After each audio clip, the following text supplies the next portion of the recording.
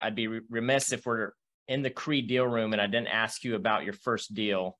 Bob, can you share with us the, the first real estate transaction you were ever a part of? And, Sure, and, the, and the fee, if you remember that. Oh, do I remember? Uh, fourteen twenty-one Third Avenue.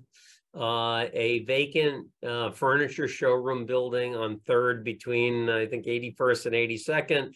Um, it was a vacant building that we sold to, uh, for the Amendaris family, uh, which owned the furniture uh, warehouse, the furniture company that, that, uh, used the building.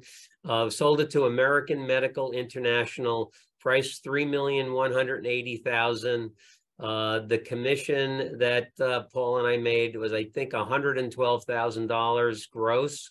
Um, I remember at the closing, uh, we were sitting in the reception area. We weren't in the conference room. And at one point, the seller came running out of the room screaming, I'm not gonna close, I'm not gonna close. Uh, and, uh, her attorneys grabbed her, brought her back into the room. The deal closed. Um, I remember sitting in the, uh, the reception area flipping a penny.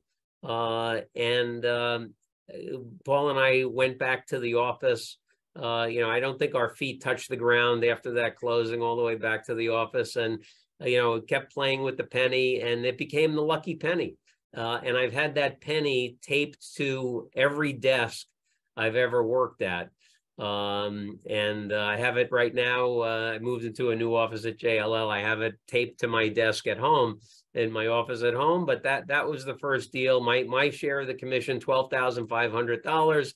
I felt like the richest guy in New York City. That was uh that was awesome. I'll never never forget it.